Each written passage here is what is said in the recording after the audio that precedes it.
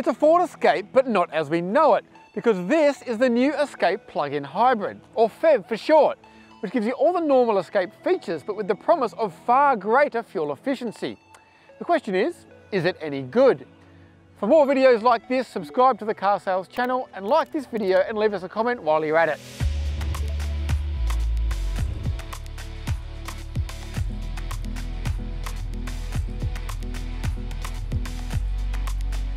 Ford Escape plug-in hybrid launches at a price of $53,440 plus on-road costs, but chances are by the time you see this it'll be $1,000 more expensive thanks to increased production costs. That puts it at a shade under 60 grand drive away. But if you add the three options packs, like this test car has, you're looking at $58,565 before on-road costs. This price is right at the top end of the medium SUV segment, but to be honest, any forthcoming plug-in hybrid models from rivals, such as the Mitsubishi Outlander, are likely to be similar money. Servicing is every 12 months or 15,000 Ks and will cost you $1,196 over the first four years, 60,000 Ks, while the warranty is for five years and unlimited kilometres. Now, there's no easy way to say this, but compared to the Escape ST line on which it's based, the PHEV costs an extra $15,000. You do get a couple of extra features inside, which I'll cover later, but externally it's as per the ST line with 18 inch alloys, a body kit and lowered sport suspension.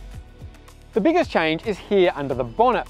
Whereas regular Escapes use a 2.3 litre turbocharged four cylinder with 183 kilowatts, the PHEV uses a 2.5 litre four cylinder and instead of a turbo has a 14.4 kilowatt hour battery to boost power.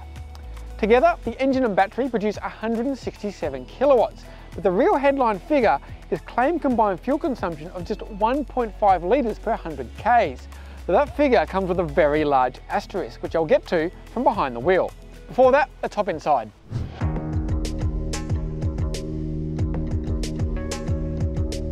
The interior is, well, it's a little bit plain really.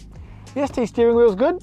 This carbon strip along the dash is quite nice and there are a couple of little leather padded bits, but it's just grey and grey and grey and there's plenty of hard plastic in here as well. It's functional and everything is reasonably easy to use, but while it seems well equipped, as mentioned earlier there are a few options on this car. Standard equipment includes keyless entry and start and an 8-inch infotainment touchscreen with digital radio, smartphone mirroring and Ford's Sync 3 operating system with voice activation. There's also widescreen digital instruments, wireless phone charging, and the PHEV includes partial leather trim, a 10-way power adjustable driver's seat, and 10-speaker B&O stereo. However, the heated seats, head-up display, LED headlights and power tailgate are part of the $1,950 ST line option pack. Front and rear parking sensors and a reversing camera are standard, but enhanced park assist, a front camera and the clever door edge guards are an extra $1,500 as part of the parking pack. Thankfully, all the active safety toys are standard, the adaptive cruise control having a stop and go function for traffic, and the autonomous emergency braking including both pedestrian and cyclist detection. Add this to six airbags and you have a five star safety rating. Here in the back there's plenty of room. You might even get three smaller folk across for short trips.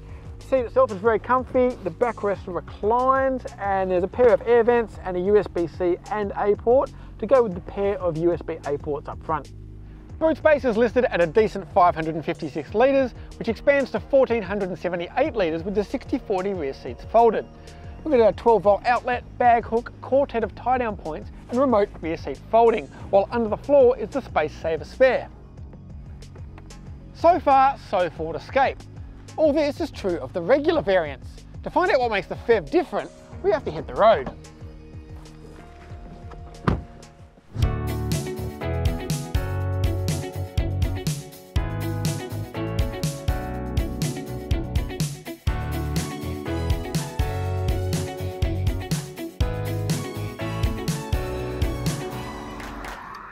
Aside from the fact that when you hit the start button you're met with nothing but silence, this feels pretty much like a regular Escape to Drive, which is mostly a good thing. But at this point I should probably explain what a plug-in hybrid is and why you might want one. Because this is a plug-in hybrid, it's got a much bigger battery and can travel much further on pure electricity than a normal hybrid.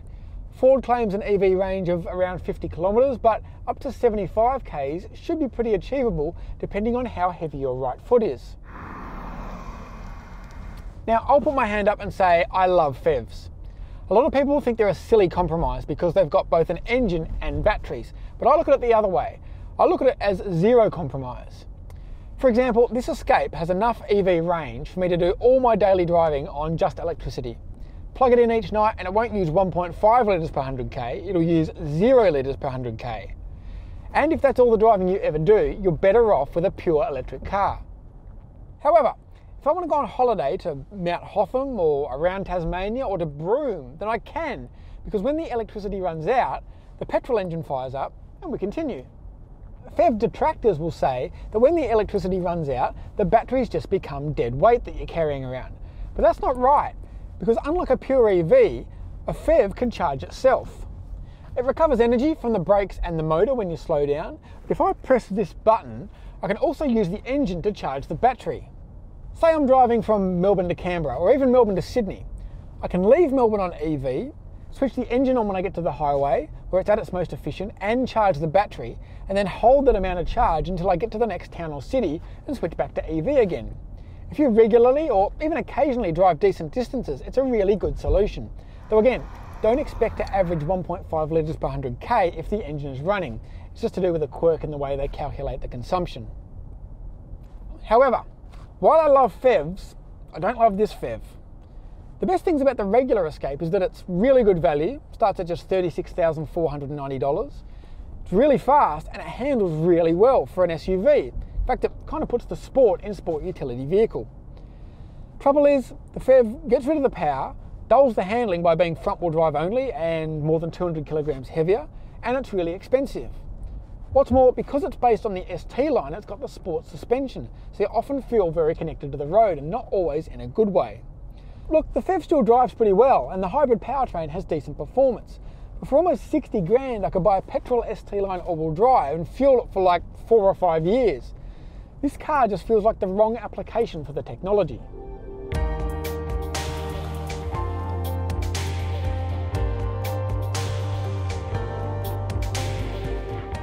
If the Escape PHEV offered the same performance as the regular models, but with the possibility of zero emissions motoring, then it would be a much more enticing proposition. Unfortunately, it takes away from the standard car's strengths and doesn't give nearly enough back in return. Simply put, just doesn't stack up. Thanks for watching. If you've enjoyed this review, please like the video, subscribe to the carsales channel and give us a comment down below.